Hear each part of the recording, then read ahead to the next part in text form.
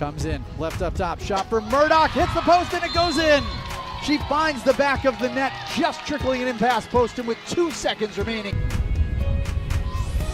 Up top, this one squirts underneath the stick. Crims will have to try and reorganize. It comes to Murdoch. Murdoch winding through Murdoch through traffic, and she scores again. This is number five. Sent up top, left for Pierce through traffic. It deflects and scores. Looks like it actually went off of a big green stick as it went through in front at the last moment.